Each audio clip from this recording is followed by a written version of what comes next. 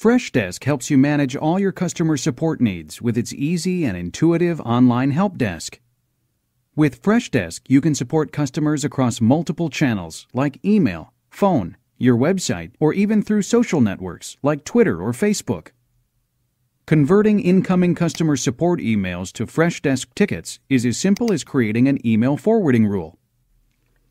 The dashboard gives you a quick overview of your open and overdue tickets. You can take a look at the Facebook styled activity summary for a snapshot of what's happening in your help desk. You can view the tickets from your customers under the Tickets tab. Instead of having a person read all these tickets and assign them manually to agents, you can automate the process using the Dispatcher feature.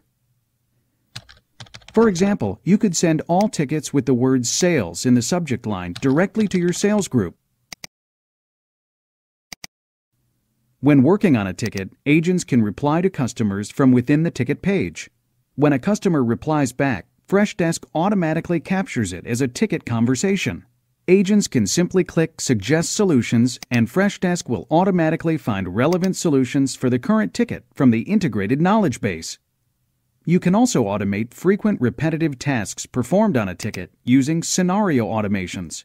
For example, when executing a scenario to handle refunds, you can automate multiple tasks, like assigning it to the refunds department, sending an email to a manager with the ticket details, and marking the ticket as high priority. You can completely customize the look and feel of your help desk and rebrand it with your own logo.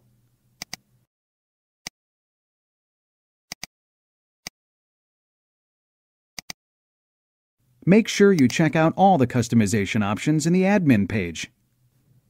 You can even integrate a public customer portal with your existing website.